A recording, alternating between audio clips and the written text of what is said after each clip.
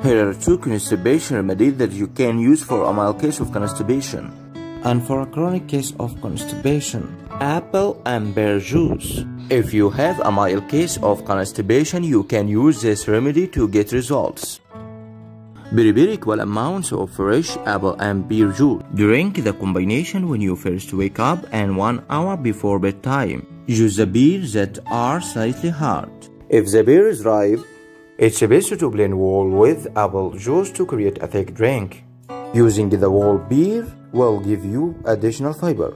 Just remove the seeds but don't be the organic type. Beers have minerals, vitamins and chemicals that help to clean out your colon kidney and to regenerate your blood cells.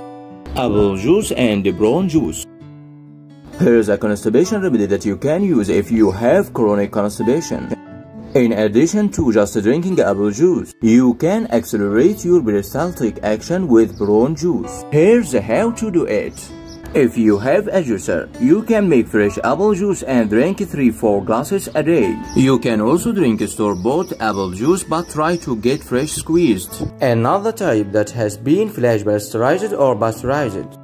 If you can find fresh apple juice, then use flash pasteurized. Buy your juice in glass containers if possible. Plastic containers are processed using solvents that stay in the container walls and gradually outgas into the apple juice. This outgassing is more severe when plastic containers are stored in hot places. To speed up the laxative effects of apple juice, Take the following combination first thing in the morning before you have breakfast. Drink 2-3 cups of brown juice after.